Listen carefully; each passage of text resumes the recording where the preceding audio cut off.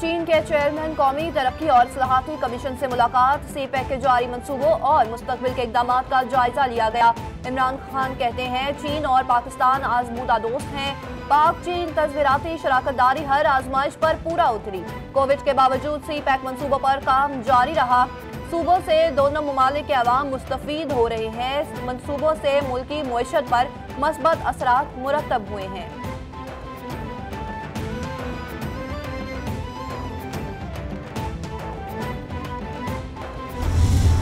चीन में आगाज़ हो चुका है, जो दौरे का, जो फॉर्मल पार्ट है उसका। सुबह वजी अजम ने 18 से ज़्यादा जो सेक्टर्स हैं, उनमें वीडियो कॉन्फ्रेंसेस की हैं और इस वक्त उसमें वक्फा है। इसके बाद प्राइम मिनिस्टर का सी जी टी एन में एक इंटरव्यू होगा, जो चाइना का सबसे बड़ा टेलीविज़न है। बिज़नेस मीटिंग्स के बाद वजी अजम और जो गुजरा हैं, वो जाएँगे सरमाई ओलंपिक्स का जो ग्राउंड है वहाँ पे, जहाँ पे इफ्तदाई तकरीबात में शिरकत करेंगे।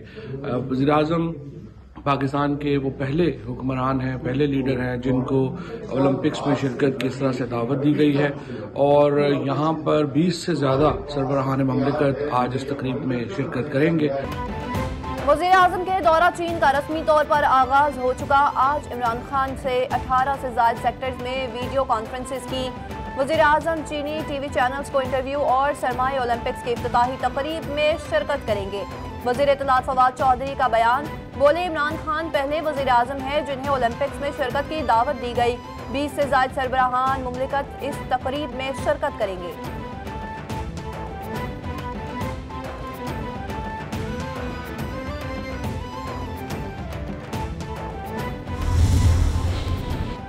भारत का ताकत की दावत बुनियाद पर सीज फायर का दावा बेबुनियाद है। किसी को ताकत के हवाले से जम में नहीं रहना चाहिए।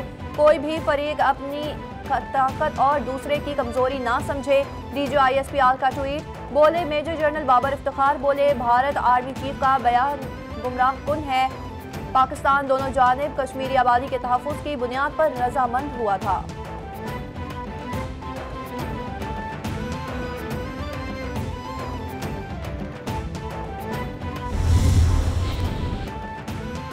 पाकिस्तान और कश्मीर का रिश्ता शहरग और इंसानियत का है। मसला कश्मीर का हल कश्मीरियों की उमंगों के बगैर मुमकिन नहीं।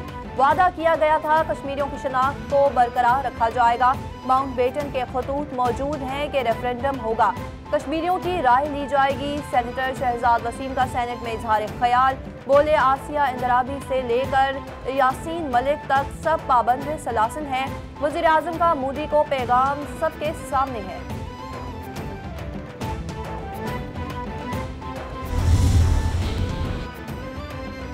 बुखार में इस्तेमाल होने वाली दवा पैरासीटामोल की कीमत में इजाफा। ड्रग रेगुलेटरी अथॉरिटी ने मंजूरी दे दी। एक गोली की नई कीमत दो रुपए सड़सठ पैसे हो गई। दवा सास कंपनियों ने पैरासीटामोल की कीमत में साढ़े तीन रुपए इजाफे का मुतालबा किया था।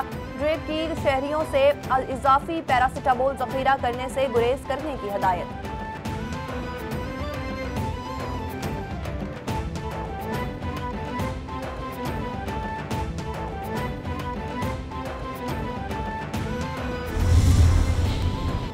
तर्जुमान नू लीग मरियम औरंगज़ेब कहती हैं, वज़ीर खजाना ने खुशी से एक अरब डॉलर मकरूज होने का ऐलान किया।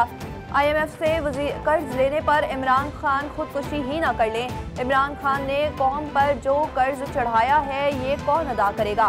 कर्ज की अदायगी पाकिस्तान के नौजवानों और आने वाली नस्लों को करनी पड़ेगी।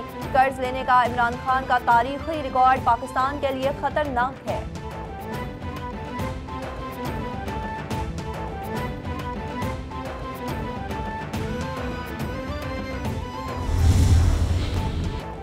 वजारत दाखिला ने सबक चीफ जस्टिस गुलजार अहमद को फूल प्रूफ सिक्योरिटी की मंजूरी दे दी। सबक चीफ जस्टिस गुलजार अहमद से सिक्योरिटी वापस नहीं ली जा रही। चीफ जस्टिस का अहदा रखने वक्त जो सिक्योरिटी मिली थी वो बरकरार रहेगी।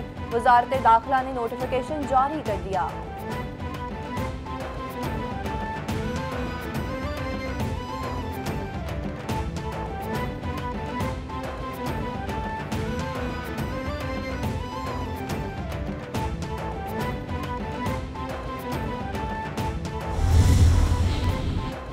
खैबर पख्तूनख्वा में बलदियाती इंतबात में जबता अखलाक की खिलाफ वर्जी पर एक्शन कमीशन मुतहरक।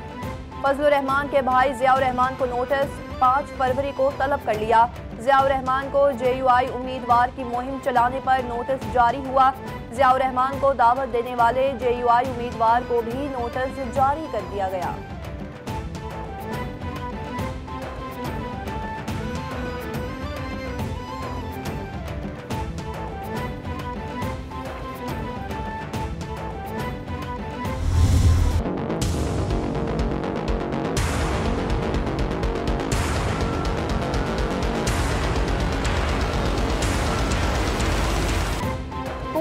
में कोरोना ने पंजे गाड़ लिए। मुतासर अफराद की तादाद तीस करोड़ पचासी लाख से बढ़ गई।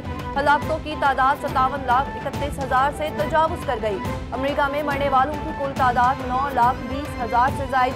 ब्राज़ील में छह लाख तीस हज़ार से जायद। भारत में पाँच लाख से जायद। बरतानिया में एक लाख सत्तावन हज़ार से जायद। इटली में एक लाख सैंतालीस हज़ार से जायद।